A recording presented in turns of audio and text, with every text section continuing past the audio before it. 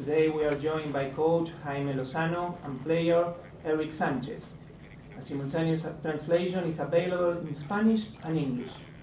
Please remember to raise your hand or virtual hand and say your name and media before your question. We are going to start.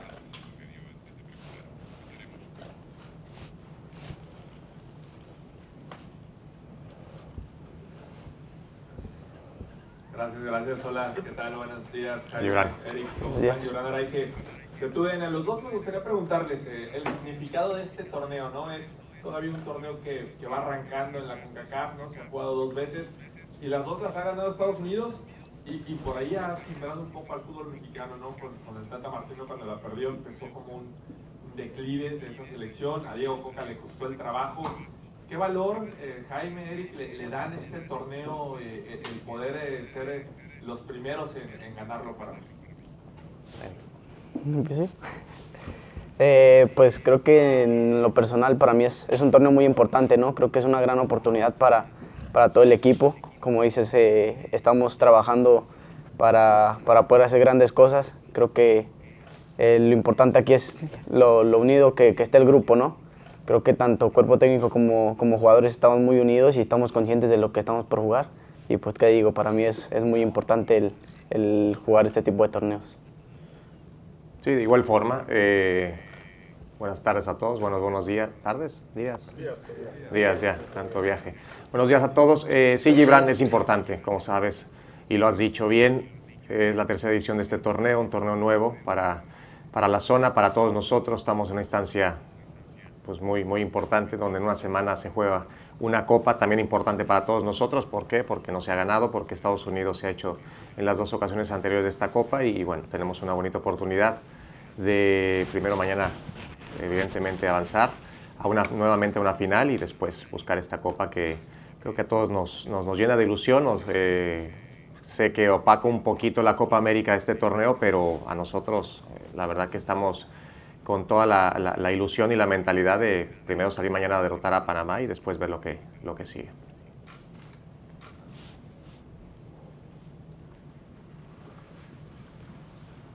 Jimmy Eric, ¿qué tal? Muy buenos días. Francisco Villalobos. Oh. Este, Jimmy, primero contigo.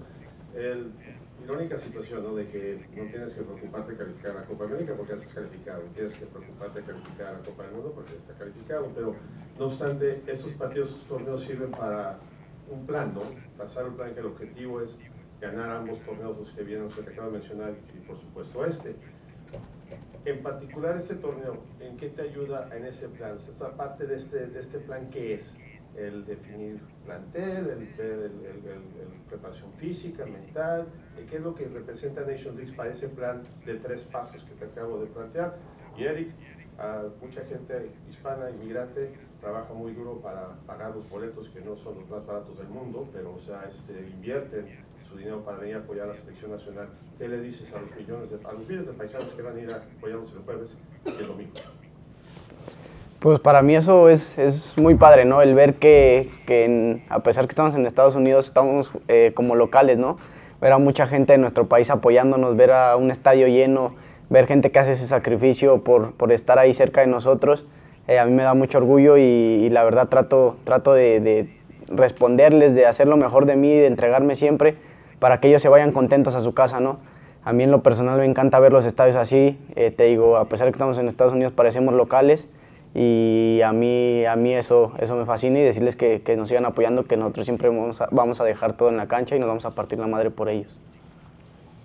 Al final creo que cada partido es importante para la selección, evidentemente para el grupo de jugadores y para el proceso. Como bien dices, hay un boleto ganado por ser locales, pero eso no quita que queramos hacer un proceso sólido, sólido. Y para mí lo importante siempre es dejar las instituciones, y en este caso la federación, mejor y con bases sólidas. Crear una cultura de trabajo también es importante. Creo que se han hecho cosas buenas en procesos anteriores, hay otras que podemos hacer mejor y me parece que ahí es donde estamos apuntando, a dejar algo sólido, evidentemente a base de dar resultados también, pero a dejar algo sólido para que el fútbol mexicano no sea... Eh, no sé, por ser eh, locales en este próximo mundial, que tengamos una buena actuación y después regresemos a lo mismo, sino crear eh, esos cimientos que, que, nos permitan seguir dando pasos importantes a nivel internacional. Como director técnico, ¿verdad? como todo, como director técnico, con el equipo y evidentemente para la federación. TVN.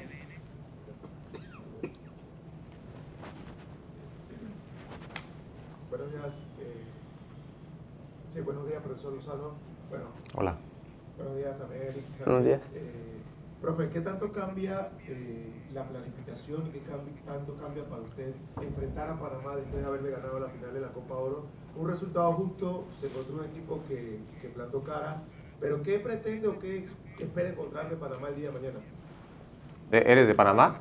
Sí, de Panamá. Perfecto. Eh, ¿Qué cambia? Pues cada partido es distinto, primero que nada. Eh, era una instancia donde los dos veníamos con un poco más de tiempo con nuestras elecciones, donde la ilusión y la motivación y, y la confianza está al máximo por jugar una final, donde para mí tienes todo que ganar en una final. Y ahora estás en una semifinal con mucho tiempo entre la última vez que nos concentramos y esta, donde lo he dicho y, los números los avalan a ustedes como, como, uno de los equipos que más crecimiento ha tenido en la zona. Y para mí es mucho en base sí a los jugadores, sí a la generación, pero mucho en base al proceso que le han dado a su, a su técnico nacional. A mí me tocó enfrentarlo en mi último juego de preparación, o nos tocó enfrentarlo en el último juego de preparación previo a Juegos Olímpicos. Creo que ganamos 3 o 4-0 y hoy el equipo es totalmente otro con los mismos jugadores. Entonces el tiempo te da esta la posibilidad de generar una cultura de trabajo, un entendimiento y fortalecer esos lazos también que son importantes en una selección en tan poco tiempo que los tienes para trabajar. Entonces, es una semifinal. Estamos a todas las selecciones a dos partidos de poder levantar una copa nuevamente y, y sin duda alguna que, que, Panamá tiene muy claras las cosas que tiene que hacer el campo, es de los equipos que más claro, a mi entender, lo tiene de la zona y nosotros que hemos venido acumulando trabajo también en estos últimos meses para para, llegar, para buscar llegar a este, este tipo de semifinales de la mejor manera posible. Es distinto, sí, es distinto, es distinto, pero, pero creo que los dos eh, equipos, no te digo técnicos, pero equipos van a salir a dar una muy buena versión y, y a ganar el partido. Gracias, buenos días. Eh, preguntarte, Jaime, eh, preguntarte, Jaime, si la actuación de Luis Ángel Malagón en el Azteca contra Honduras digamos, te movió el tapete para determinar el portero titular en esta oportunidad, o si al hecho de, haber sido por una lesión de Memo, lo deja Ochoa como el titular, ¿no? Este, para, para esta Nations League. Y, y, Eric, preguntarte cómo se han sentido con, con, Jaime en este, en este proceso, ¿no? Que te toca estar, pues ya prácticamente como uno de los que, que ha iniciado, que se ha ganado su lugar en relación al ambiente en el grupo, porque en las últimas horas ha, ha habido jugadores que, que, han hablado de procesos anteriores y que de pronto eh, se sentían incómodos con ciertas circunstancias de los cuerpos técnicos. ¿Ustedes cómo se han sentido con, con Jaime? Muchas gracias. Eh, creo que hay, hay, un grupo muy unido, ¿no? Creo que desde que llegó este cuerpo técnico el grupo se ve muy sano, se siente muy sano. Creo que, como lo he dicho, es un grupo muy unido, un grupo que, que el ambiente cambió totalmente, ¿no? Lo, se vio de la del torneo pasado a la Copa Oro, creo que ahí se dieron cuenta de la diferencia que hubo. Entonces a mí en lo personal me gustó ¿no? el cambio que hubo, creo que, creo que nos conjuntamos todos muy bien, ¿no? nos entendimos muy bien desde el primer momento y eso es lo importante. Entonces yo creo que, creo que todos mis compañeros, cuerpo técnico, staff, todos estamos muy, muy contentos y emocionados y sabemos que, que todos tenemos el mismo, el mismo objetivo. Entonces eso es lo importante para que, para que todo el trabajo y todo, todo esté bien en, nosotros y podamos ir, ir juntos eh, en el proceso. La vía. De, Malagón no me movió el tapete porque sé lo que me me puede dar. Y es prácticamente eso. Es un portero que me ha tocado y es uno de los dos, a mi entender, o tres, que me ha tocado ver durante el proceso olímpico, que más crecimiento ha tenido, sin duda alguna, es uno de ellos, porque empezó un proceso olímpico siendo el cuarto o el quinto y acabó siendo el uno de ese proceso. Después nos reforzamos con Memo y, y terminó siendo el dos, pero, pero Malagón no tiene techo, es lo que te tengo que decir. No tiene un techo porque lo he visto crecer, porque lo ha demostrado y porque tiene, me parece, las cosas muy claras. Entonces, no es que me sorprendió. Yo sé que con los ojos cerrados, cuando Malagón esté en la portería, eh, va a responder como lo ha hecho, como lo hace en su equipo cada ocho días, que a una corta edad ha llegado un equipo también importante y le ha tocado salir campeón y parte fundamental de ese equipo y de buen paso que tiene y, de que sigan peleando por, por hacer cosas importantes es, es, también gracias a él. Entonces, digo, no me sorprende porque lo conozco bien, me conoce bien y, y sí que cuando Mala tenga eh, la oportunidad de estar nuevamente en cualquier equipo en nuestra selección, seguramente lo hará todavía mejor.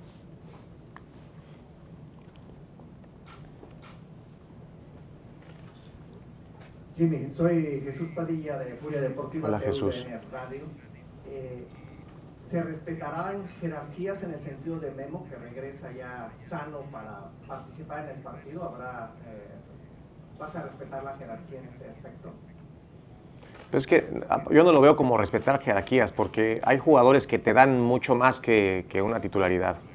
Lo, lo, veo así, lo siento así, me toca estar con ellos todo el tiempo, entrenando en, en el vestidor, eh, en, el, en, el, eh, en, el, hotel y, y, no solamente es un tema de, de, lo que nos ha dado, sino los que nos sigue dando y nos puede seguir dando. Entonces, el que esté bien, evidentemente, porque partimos de esto, que esté bien, que pase un buen momento, porque ayer lo comentamos en nuestra primera reunión que tuvimos todos, eh, si estar aquí, independientemente del momento que vive el club de algunos, es porque para mí están bien, están bastante bien y le pueden dar a la selección eh, todavía mucho, ¿no? Entonces, hablando de Memo, hablando de Malagón, del mismo Julio y de los que no están, que estuvieron en la lista, creo que te, los tenemos pocos días, pero tenemos tiempo para verlos y para tomar una decisión y el que sea de los tres seguramente que lo hará de, de muy buena forma. ¿Será difícil tomar la decisión de quién va a ser el 9 para este partido? Siempre, siempre. Mira, a veces vienen tres, hoy Raúl no, no había tenido tanta participación, se alargó un poquito su recuperación, pero, pero hoy tenemos dos que,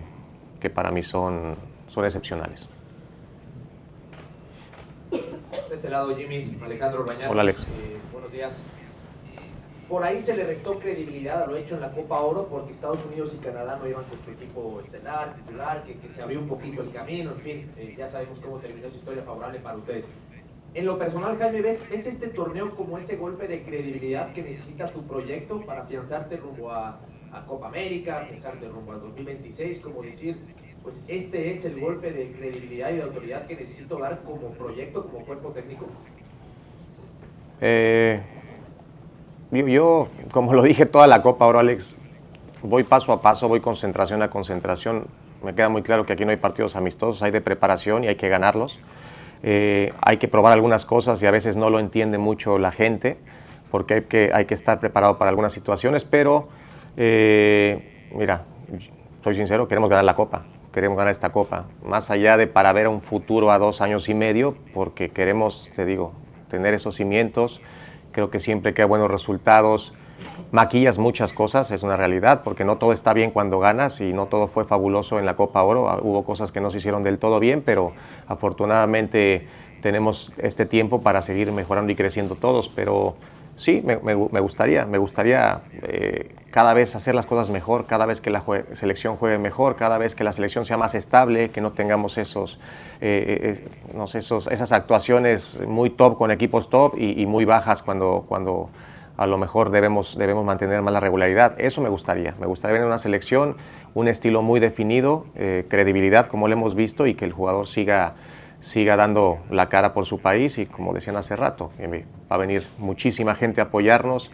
no solamente de Estados Unidos, sé que de mucha que viene de México, de otras partes del mundo, a, ver a su selección, apoyarla y a ver una, una, buena actuación. Entonces, por todos ellos, por nosotros y sobre todo por los jugadores que son los que hacen el gran esfuerzo y, de estar aquí y, evidentemente tenemos el privilegio de estarlo, pues ojalá que sean eh, primero el día de mañana una gran actuación y próximamente el domingo.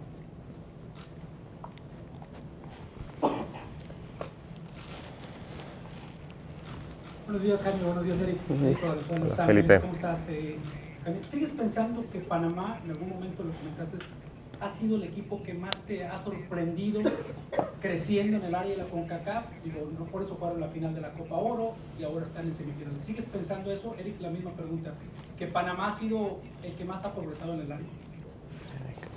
Sí, creo que a mí en lo personal, igual como dice, como dice el profe, ¿no? Creo que ha tenido mucho crecimiento, hay jugadores que son muy, muy buenos. Eh, a mí me ha tocado enfrentarme aquí en mi club contra jugadores que, que son, en el caso de los contenciones de, de Panamá, y, y, bueno, a mí me sorprende lo, lo, buenos jugadores que son, ¿no? Creo que tienen grandes características, pero bueno, creo que, creo que eso igual tiene que depender por lo que hagamos nosotros. Creo que eso va a ser lo más importante y sí, han tenido un crecimiento bastante bueno, pero como te digo, es, hay que depender de lo que hagamos nosotros. Sí, Felipe, ¿cómo estás? Sin duda, sin duda, eh, nuevamente, digo, ahora volteada las semifinales, pero es un poco lo que vimos en Copa Oro y, y tiene algo que ver, tiene algo que ver que que son, me parece que al día de hoy, las cuatro selecciones que, que, están arriba, un poco arriba de las otras, pero en este caso Panamá, el otro rival Jamaica, también que tiene mucho jugador en la mejor liga del mundo, entonces eso también ayuda. Ya no, ya no es nada más el tema físico con, con, estos dos equipos, sino también una, una organización, evidentemente, como toda en la vida está más globalizado esto, están mucho mejor entrenados, están en mejores ligas, y eso hace que compitan de una mejor manera. Entonces, sí, para mí sí, estas dos elecciones, pero creo que Panamá un pelín por este tema del proceso que, que han mantenido.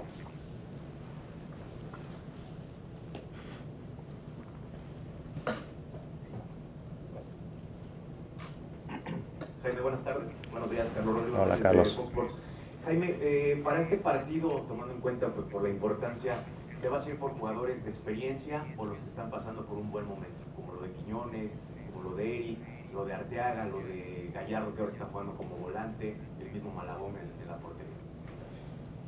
Eh, un poco todo, hay que, como técnico tienes que ver muchas cosas, tienes que ver, sí, ese, para mí primero empiezo, para mí todos están bien, eh, después tienes que ver relaciones dentro del campo, tienes que ver eh, hasta cierto punto también horas de, de juego, horas de viaje, son muchas cuestiones las que tienes que analizar. Y a, lo mejor nos complicamos la vida ¿eh? como técnicos ahora, cuando antes no era todo mucho más sencillo, pero hay, muchos, eh, hay muchas cosas y trataremos de poner al... Los 23 pueden estar y lo van a hacer de maravilla. Trataremos de poner a, los 11 que, que, consideremos que son los indicados en este momento. Y no quiere decir, y es difícil, ¿eh? es difícil. Así como una lista se queda gente fuera que merecía estar adentro, una alineación, imagínate. Afortunadamente tenemos esta, eh, esta posibilidad de tener más de 11, muchos más, que pasan un buen momento y que pueden salir a representar de la mejor manera a su selección. Entonces, eh, siempre la intención es decidir de la mejor manera con, con el afán de, de, ayudar a la selección. Concretamente, Jaime, buen día. Hola, Mau. Mauricio de este lado. Concretamente, en el caso eh, del, centro delantero y de la, de la, portería, más allá de lo que ya desglosas en esta respuesta que le das a, Carlos. Rodrigo, eh, preguntarte en qué te vas a basar concretamente, porque ya hablaste de jerarquía, ya hablaste de experiencia, en qué te vas a, basar concretamente para tomar esa decisión del portero titular y del centro delantero. Eh, ¿En qué nos basaremos? Bueno, normalmente llegas a la... O, a mí me pasa mucho desde la, desde la Olímpica. Uno va viendo a los jugadores en sus clubes y te vas imaginando un escenario, también dependiendo mucho de lo que tú quieres hacer y lo que va a hacer el rival. Y después hay momentos, y casi siempre sucede, donde llegan y una o dos posiciones, eh, porque ves muy bien al jugador, a uno que a lo mejor no tenías tan considerado, o porque eh, crees que es lo ideal, cambias. ¿no? En este caso, ¿en qué me voy a basar? Evidentemente en lo que hemos venido haciendo en este proceso, en lo que hemos venido haciendo, en, que el jugador esté bien físicamente y mentalmente, porque es importante, lo puedes traer y pensar que está bien y luego lo ves y, no, es, no, es, no, es, así. Entonces, sobre todo en estas dos cosas, Mau, en que el jugador, lo que hemos venido desarrollando en este proceso, hemos analizado los partidos anteriores nuestros, evidentemente el último con Panamá y trataremos de, de sacar las mejores conclusiones para tomar una decisión acertada.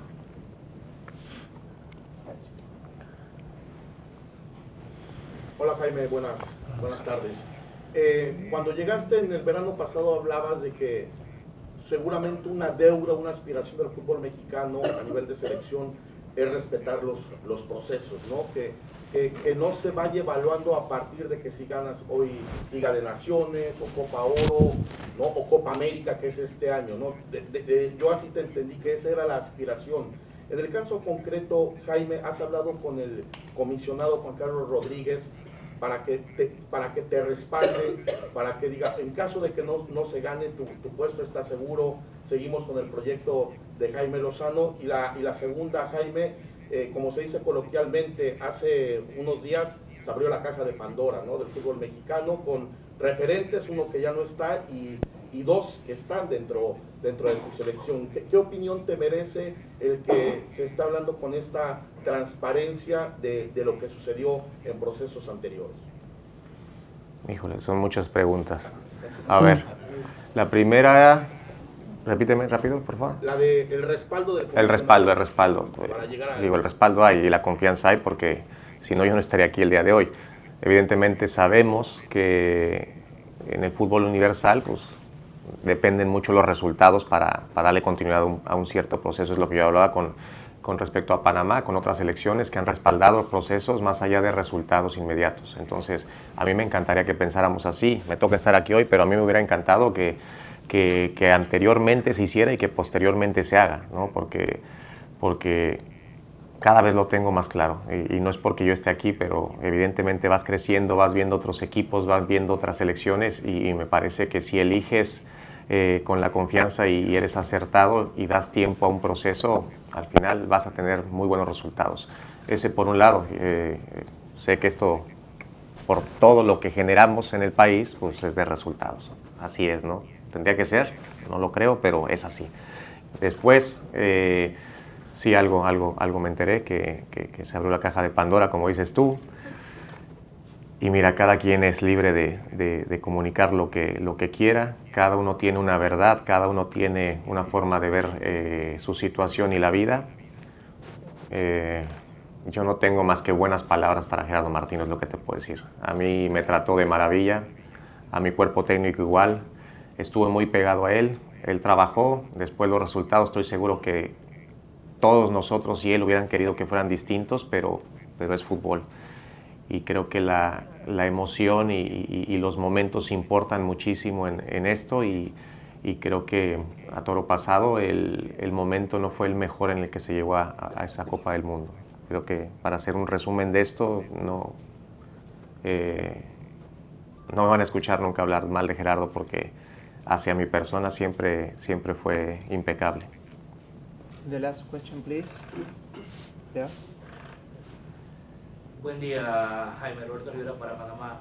Eric hablaba del medio campo panameño y, y decía lo, lo bueno que son las contenciones. ¿Qué te queda de- del fútbol panameño a nivel de un jugador? Que digas, aquí comienza todo, aquí se maneja todo para el fútbol panameño, a nivel de selección en este momento. ¿A mí o a...? A los dos. Ah, perdón. Bueno, a mí en lo personal te digo, yo, yo me he tocado eh, jugar contra ellos, ¿no? A mí en lo personal yo... Sí, claro, y sé que son grandes jugadores, ¿no? Creo que tienen grandes características. En lo personal creo que tengo que estar atento, si me toca estar, si no me toca estar voy a ayudar a mis compañeros, pero tengo que estar muy atento, ¿no? A las capacidades que ellos tienen, porque sé que son, son muy vivos, tienen experiencia también, eh, pero como te digo, creo que en lo personal se me hacen grandes jugadores y bueno, uno tiene que, que trabajar para, para estar al tú por tú y más. Para Panamá, ¿quién es el mejor de la selección? Te pregunto a ti. Y lo- te lo contesto yo. Ya lo tengo acá, ¿eh? Carragil. Sin duda, sin duda. Mira, lo enfrentamos en Panamericanos en Lima.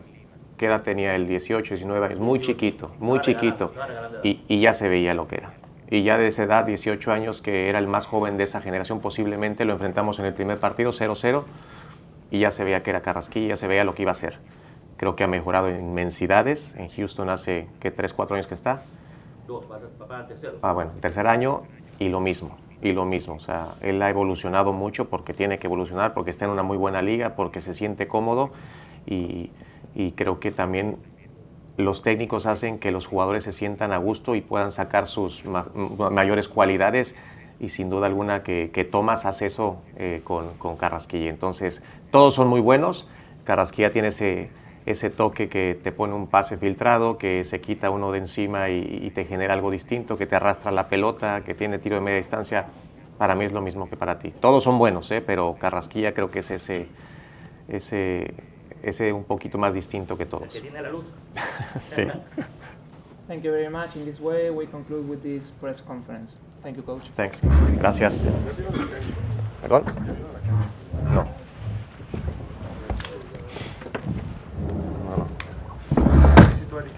Gracias. Gracias, gracias. Gracias, Alex. A ustedes. Gracias. Gracias.